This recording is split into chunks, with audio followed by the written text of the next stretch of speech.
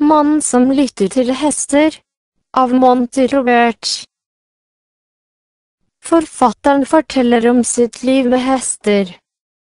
Han har arbeidet med hester i hele sitt liv, lyttet til dem, og lært seg språket deres.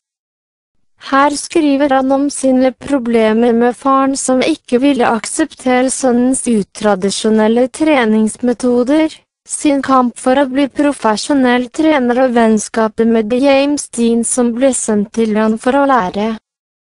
Han forteller om arbeidet med traumatiserte hester og sine oppvisninger for den engelske dronningen, og viser hvor viktig det er å lytte til hester, men også til medmennesker og ansatte.